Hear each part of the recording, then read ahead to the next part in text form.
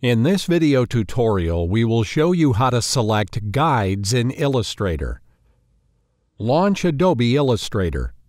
Go to the File menu and choose New.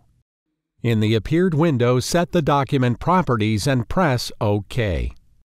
Go to the View menu, select Rulers, and choose the Show Rulers option from the sub-menu.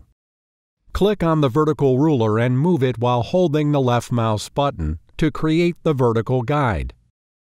Then create another vertical guide. Now, left-click on one of the guides to select it.